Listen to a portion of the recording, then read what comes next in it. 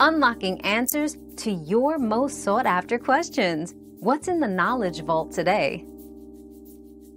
Organize your email for maximum productivity by implementing the following tips. 1. Categorize emails into folders based on project or urgency. 2. Use filters and labels to automatically sort incoming messages. 3. Set aside specific times to check email instead of constantly monitoring it. 4. Unsubscribe from unnecessary newsletters and promotional emails. 5. Leverage tools like snooze and follow-up reminders to keep your inbox manageable. This systematic approach helps prioritize tasks and reduces email clutter, boosting overall efficiency. We've quenched today's curiosity, but there's always more to learn. Keep the curiosity alive by subscribing and joining us for our next adventure.